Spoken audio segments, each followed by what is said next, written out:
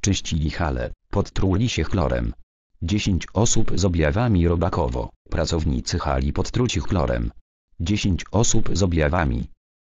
U 10 osób w hali magazynowej w Robakowie województwo wielkopolskie doszło prawdopodobnie do zatrucia chlorem. Osoby te wcześniej czyściły obiekt. Na miejscu zjawiło się 11 zastępców straży pożarnej, w tym jednostka chemiczna. Oficer prasowy Komendy Miejskiej PSP w Poznaniu starszy. Kapitan Michał Kucierski powiedział, że do wypadku doszło około godziny 9.30 w hali magazynowej mieszczącej się przy ulica Żernickiej w podpoznańskim Robakowie.